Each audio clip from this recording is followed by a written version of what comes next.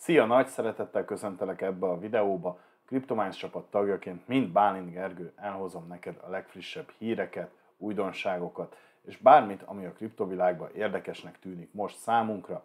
Ebbe a videóba erre invitálok, gyere nézd meg, kérdés-válasz rovatunk is lesz különböző kérdésekre. Megnézzük azt egy nagyon komoly újdonságot, hogy egyetemi oktatásba vezették be a kriptográfiát, mint olyat, illetve néhány különböző helyzetről megosztjuk veled azt a véleményt, amit mi gondolunk. Nagyon-nagyon fontos, hogy amíg eljutunk idáig, szeretném elmondani, hogy semmi, ami ebben a videóban történik, nem minősül sem pénzügyi, sem befektetési tanácsnak. Kifejezetten arra van, hogy téged edukáljon, szórakoztasson.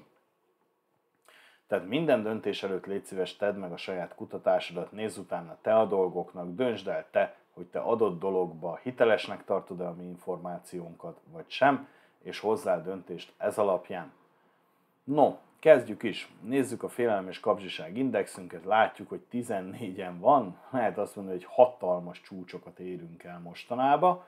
A 6-ról, a 7-ről, a 8-ról fölugrottunk már 14-re, ami több mint egy duplázás akár, hogyha úgy nézzük. De még mindig extrém félelemben van a piac, hogyha megnézzük ugye gyakorlatilag egy hónapos távlatban, akkor látjuk, hogy 10 és 20 között voltunk a legtöbbet, az még mindig extrém félelem egyébként, illetve párszor bebenéztünk ilyen 6-os, 8-as indexekre, ami aztán olyan szint volt, amit hát szerintem nagyon kevesen láttak még a kriptovilágba.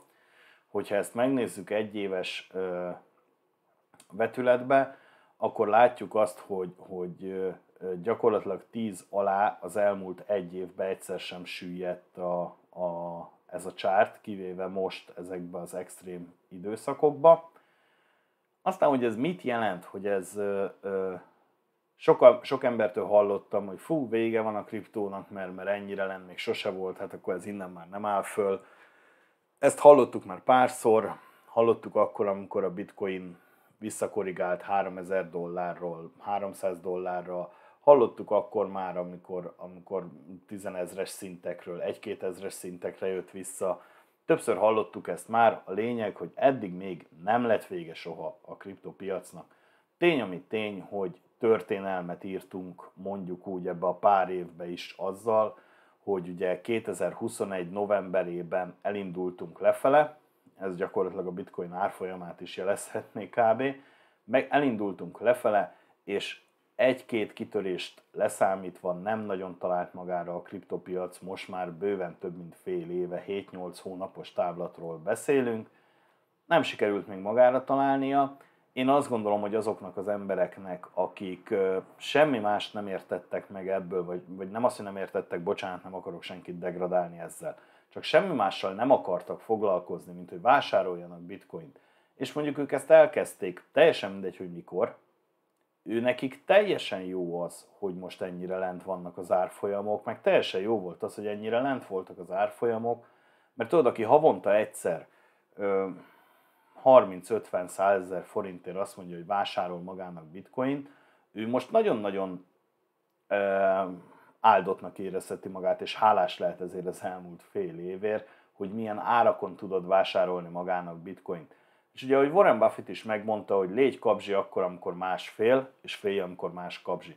Tehát igen, a személyes véleményem, de ahogy mondtam, ugye ez nem pénzügyi tanácsadás, nem kérdés, hogy a bitcoin eléri újra ezt a 68 ezeres szintet, ami tavaly őszi ö, időintervallumban volt. Nem kérdés, hogy lesz 100 ezer is, vagy félmillió is, vagy még több. Na most, hogyha egy bitcoin annyiba fog kerülni, akkor hidd el, hogy te boldogabb vagy, hogyha ugyanazért a 30-50 ezer forintodért, tehát kicsit több bitcoin tudtál vásárolni.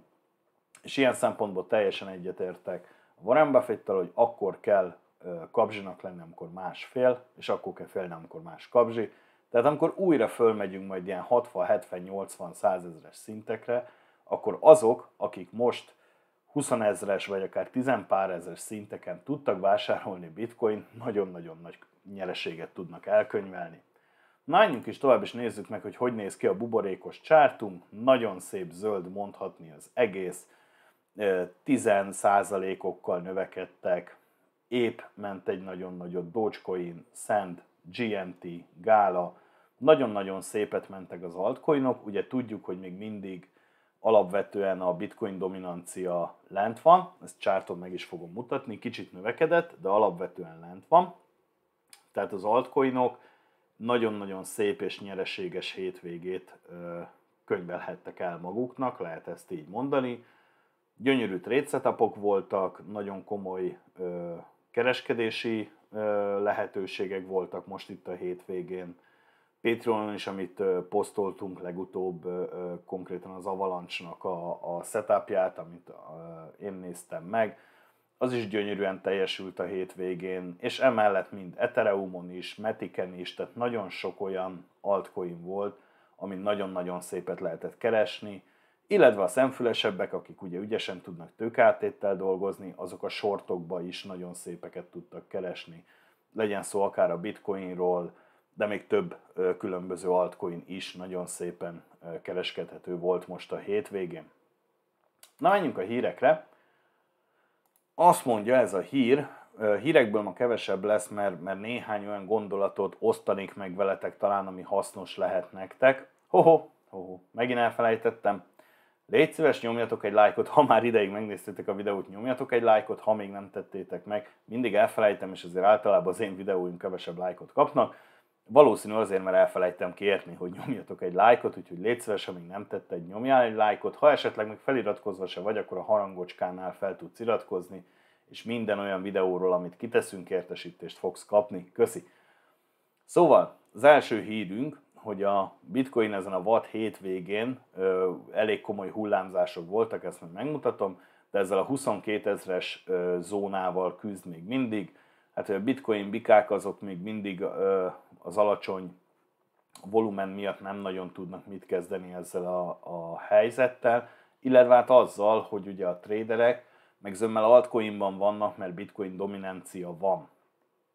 De ami a lényeg, egyébként, hogy a, ami szintén egy jó jel nekünk, ebből a cikkből én ezt ragadnám ki egyébként, hogy az S&P 500-as index a második legjobb hetét könyvelt el 2022-ben ezen a héten, és mivel tudjuk, hogy a bitcoin most már leginkább az S&P 500-zal mozog együtt, most már nem is annyira a nasdaq ez is egy fontos info a számunkra, és hát ugye ez a cikk is valószínűsíti, hogy a, a jövő héten további emelkedés várható, mind a bitcoin árával, mind pedig azzal, ami a, a bitcoin dominancia, tehát hogy vissza fogja venni a bitcoin a dominanciát, és valószínűleg áttörhetjük ezt a 22 ezres zónát.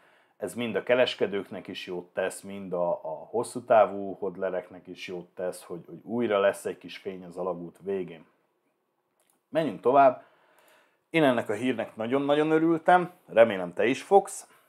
Azt mondja a Cincinnati Egyetem, hogy bevezeti a kriptográfiát, mint tantárgy. Tehát és akkor most figyelj erre, tehát ennek ez a lényege, itt van ez a cikk, olvasd el, Cointelegrafon van.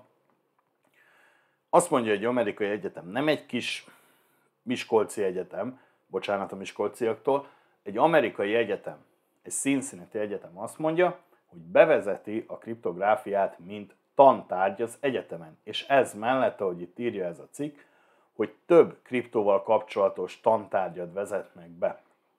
Na már most, mire utal ez? Ugye nekünk ez a legfontosabb kérdés talán, hogy mire utal ez. A, az én véleményem, és hangsúlyozom, ez a véleményem, ez arra utal, hogy most már nem csak, amiről a következő hírünk fog szólni, nem csak különböző szegény országok, nem csak különböző szerencsejátékosok, vagy vizionáriusok, akik hisznek a kriptóba, hanem a felső oktatásban, néhány szabadabban gondolkodó felső oktatási intézménybe, és én biztos vagyok benne, hogy az idei év nem fog elmúlni anélkül, hogy a Cincinnati Egyetemen kívül más egyetem is bevezesse amúgy a, a tantárgyat, elkezdik ezt oktatni. Vajon miért? Nyilván azért, mert rájöttek arra, hogy a kriptó, mint olyan, volatilis. Igen, miért volatilis most? Azért volatilis, mert nagyon kevés ember van még világviszonylatban benne nagyon kis pénzek vannak viszony, világviszonylatban benne. Onnantól kezdve, ahogy ez úgymond megveti a lábát, és talán ezt már ki lehet mondanunk, hogy megvetette már a lábát, ez egy nem iparággá, hanem ez egy olyan fogalommá fog kinőni a kriptó, amin belül lesznek majd az iparágak, és kellenek és jönni fognak majd azok, akik NFT specialisták, akik metaverse specialisták, akik gaming specialisták, akik a legjobb traderek lesznek, Nyilván a, akik tőzsdei trédeket már profint csinálnak, ő nekik egy kicsit könnyebb dolguk van, mert, mert, mert ismerik az alakzatokat, és ugye hát arra épül itt is minden, csak mások egy kicsit a szabályok, mint a tőzsdén. De azt gondolom, hogy ez egy olyan ö, hír, egy olyan mérföldkő, talán bocsánat, ha kicsit túlzónak tűnik, ahogy mondom, ami, ami kifejezetten arra utal, hogy igen, a kriptó bejött a piacra, itt van, és nőni fog. Én úgy gondolom. Ez az egész cikk is erről szól, olvasd el nyugodtan, elég hosszú cikk a maga nevében, tehát hogy, hogy több egyetem is támogatja egyébként amúgy azt, és ezért is gondolom azt, hogy többen be fogják vezetni. Olvasd el nyugodtan, aztán von le belőle a következtetésre. Na, Twitteren találtam egyébként ezt a, a Bitcoin magazinnak a e, cikkét, mert úgymond ez csak egy kép. Hogyha nem tudsz esetleg annyira angolul, akkor segítek. 2010-ben mit mondtak a, a szkeptikusok, hogy senki nem fogja ezt használni. 12-ben mit mondtak? Hát csak ezek a számítógépes hülyék fogják használni. 13-ban majd csak a drogdílerek fogják ezt használni. 14-ben csak a pénzmosásra fogják ezt használni. 17-ben a szerencsejátékosoknak a bulia, ez senki más nem fogja használni. 19-ben csak a, a kis százaléka a lakosságnak ö, használja, semmi több. És hát ugye azért megnézzük majd, hogy 19-ben hol volt a bitcoin árfolyam, meg hányan használták nagyjából, tehát 19 óta kb. 10-szereződtünk egyébként úgy mindenben. 2020-ban hát csak a kis cégek használják esetleg, 2021-ben hát csak a kis országok használják, tehát látod ezt a fejlődést? Ez itt nem több, mint 11 év, amiről beszélünk. Nem évszázadok, nem évtizedekről van itt szó, 11 év. Mit csináltál te 11 évvel ezelőtt, hol tartasz mostanhoz képest? Hogyha ottól akarsz, akkor gratulálok, akkor szuperül csinálod. Hogyha esetleg nem, akkor lehet, hogy jó helyen vagy a kriptóba, hogyha ez iránt érdeklődsz, és, és ez az, ami segíteni fog neked egy következő szintre eljutni. Én nagyon-nagyon bízom benne, hogy te is ilyen ember vagy. Kettővel ezelőtti videóban beszéltem arról, hogy a képzési platformunkat ugye teljesen átvisszük egy másik megközelítésre, ez a cryptoworldmaster.com.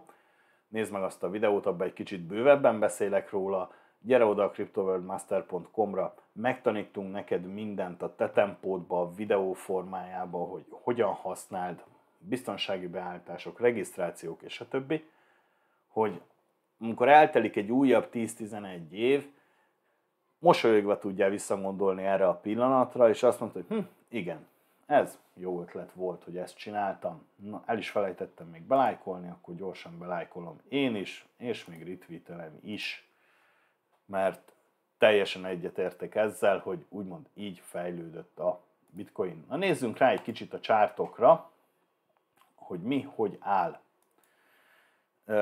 Itt most fogok nektek mondani néhány olyan dolgot, ami, ami azt gondolom, hogy előre viheti a dolgotokat.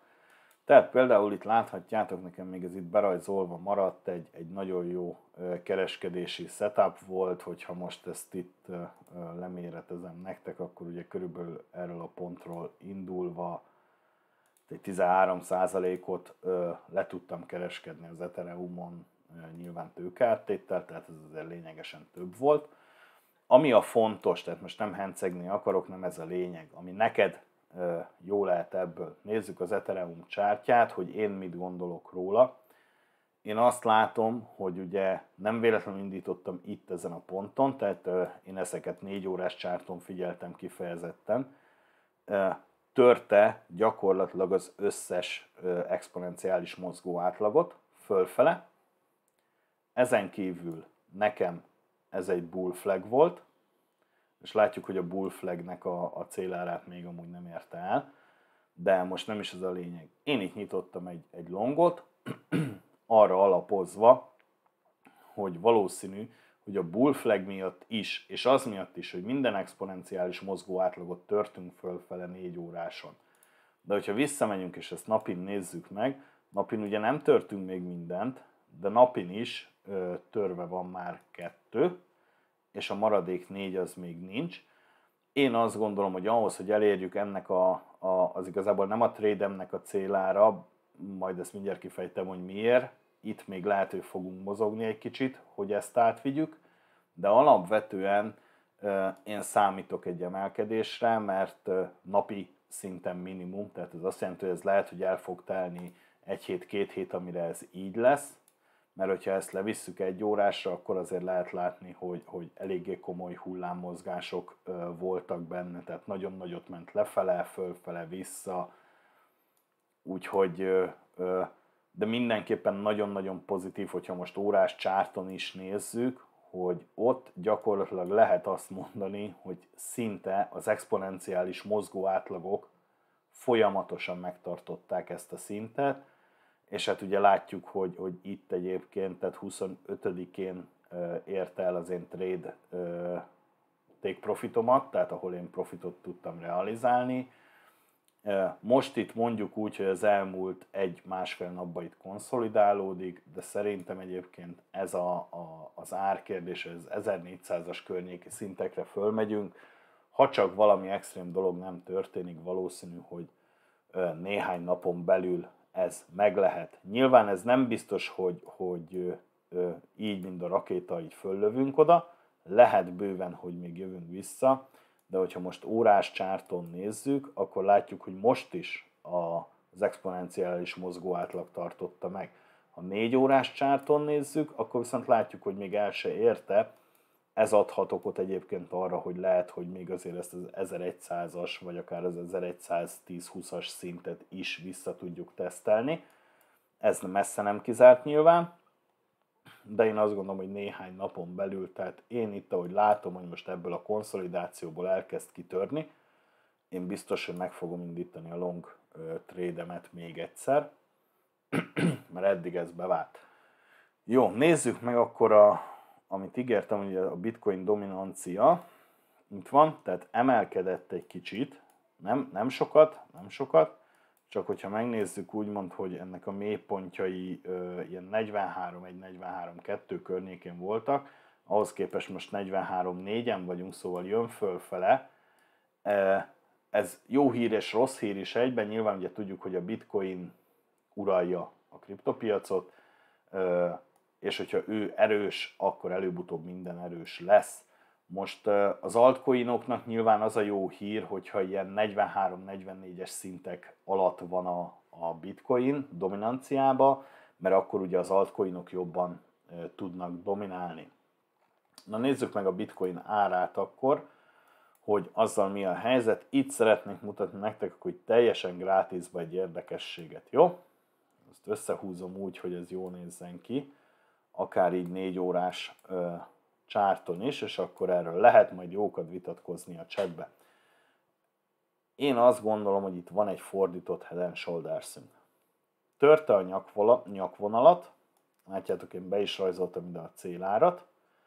Én azt gondolom, hogy mivel nem valid az, ahogy ö, mondjuk, hogyha a visszateszt megtörtént, mert végül is nem tesztelte vissza teljesen, itt lehet azt mondani, hogy mondjuk visszatesztelte, de nem indult meg egy olyan nagyon nagy ütemű növekedés fölfele, de én ettől függetlenül, látjátok, én, nekem itt is van 22 ezernél egy riasztási szintem, én azt gondolom, hogyha ezt a szintet ö, megütjük, onnantól nem lesz kérdés ez a 25 ezeres szint. Látjátok egyébként, hogy ez a szint, ahol, ahol mondjuk itt az elmúlt pár napban mozgunk, ez a 21 ezer és 22 ezer közötti szint, itt elég sok gyertyanyitás zárás volt, csak az elmúlt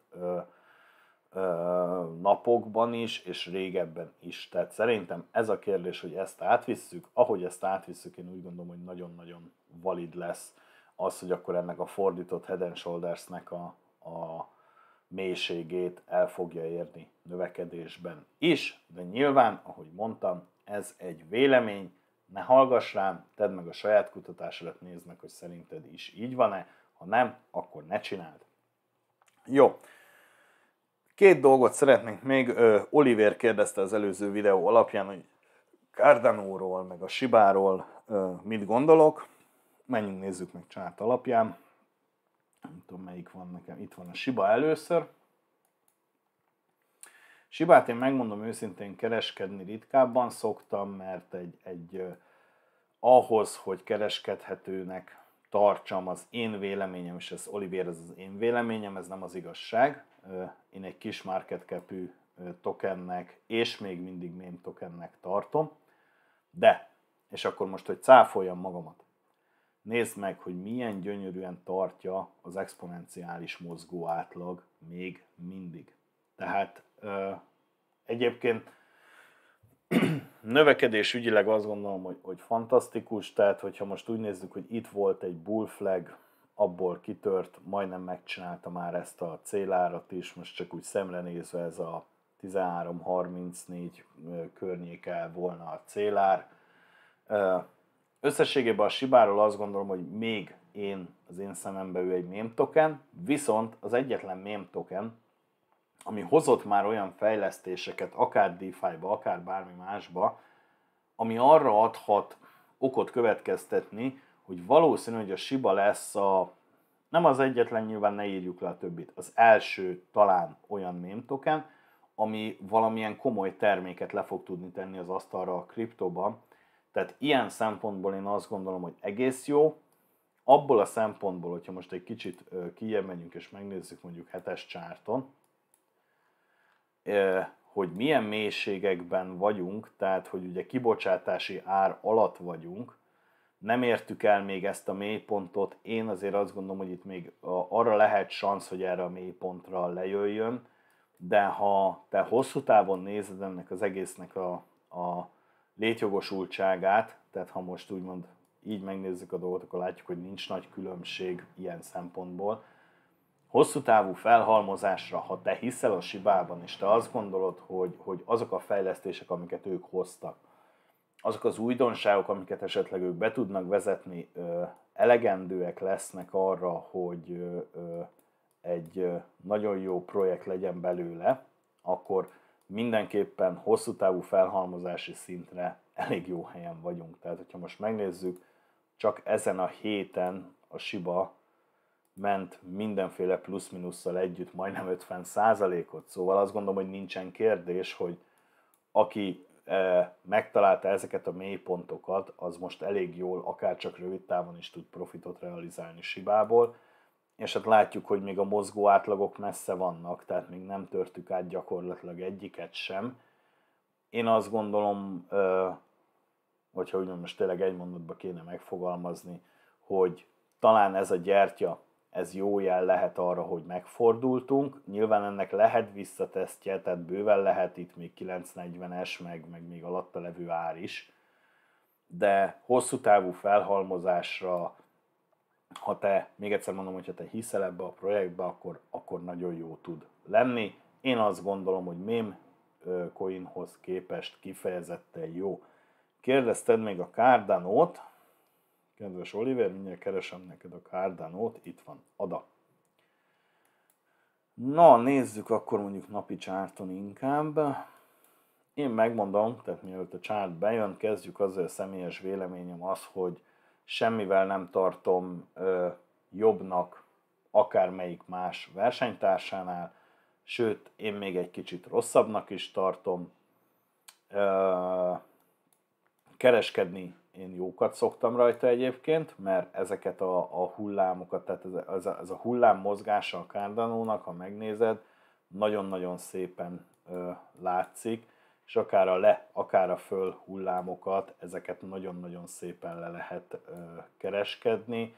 Tehát most, hogyha így nézzük, ugye nem törtük, nem sikerült törni ezt a lefele trendet. Jó esetben följövünk erre a 0,5-0,6-os szint környékére, ezt itt még lehet, hogy meg lehet longolni, utána meg, meg lehet sortolni, hogy visszajövünk. Nyilván ez nem biztos, hogy így lesz. Én csak azt mondom, hogy a, az én személyes véleményem, hiszen minket kérdeztél a, a Cardano-ról, hogy ö, lényegesen alatta van szerintem tudásban, népszerűségben, innovációban mindennek a többi vetélytárs blokklánchoz képest. Ö, van benne potenciál, mert ugye egy régi, ö, talán már 4-5 éves blokkláncról beszélünk, tehát van benne potenciál, de ahhoz most már valamit le kéne tudni tenni az asztalra, és hogy hát ha, ha megnézzük, akkor ők, tehát ők gyakorlatilag tavaly szeptemberben érték el a csúcsot, azon kevesek között vannak, akik a tavaly október végi novemberiben nem tudtak új csúcsot csinálni. Ők gyakorlatilag tavaly szeptember óta, mint a nagykő úgy zuhannak lefele, és hát látod, itt van beúzva a trendvonal, ezt párszor tesztelte, kitört belőle, visszatesztelte, de hamisnak bizonyult ugye ez a kitörés, és jött tovább lefele. Tehát az én személyes véleményem az, hogy én annyira a Cardano-ban nem bíznék, kereskedni jól lehet, de én másra személyesen nem tartanám. Hosszú távon én nekem, őszintén mondom, ebből nincs egy darabom se. Lehet, hogy rossz ö, gondolatmenetem vagyok, lehet, hogy hibát követek el vele, és lehet, hogy, hogy, hogy lesz még 5000 dollár is a Cardano, és most csak 0,5-ért lehetne venni. Én valahogy most még nem látom azt, hogy ők mitől lehetnének nagyon nagyok. Úgyhogy ez a véleményem, kedves Olivér, a kérdésedre. Úgy gondolom akkor, hogy körülbelül a műsor végéhez értünk. Én további gyönyörű, szép napot, sikeres hétkezdést kívánok nektek. Élvezzétek a nyarat, nyaraljatok, próbáljátok meg a kriptótokkal a legjobb tudásatok szerint csinálni valamit. Lényeg, hogy skálázódjatok be, amikor ennyire az alján vagyunk mindennek, mint ahogy ugye a bitcoinnak is, az ethereumnak is. Ilyenkor azt gondolom, hogy nagy hibát azzal biztos nem tudsz elkövetni, hogyha veszel, és van.